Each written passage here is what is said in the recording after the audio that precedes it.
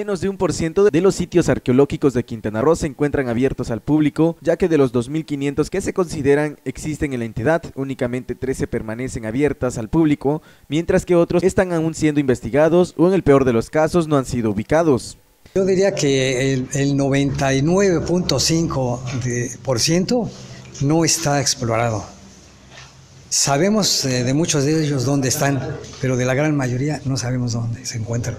De acuerdo al registro público de monumentos, 800 sitios se encuentran dentro de este esquema y de los cuales 13 están en operaciones, mientras que el resto en las que figuran Chacambacán, a pesar de estar listas para ser dadas a conocer en el mundo, no han podido ser abiertas por motivos desconocidos, aseguró el arqueólogo de Lina, Fernando Cortés. Hay de alrededor de 400 sitios registrados, un poco menos, ¿no?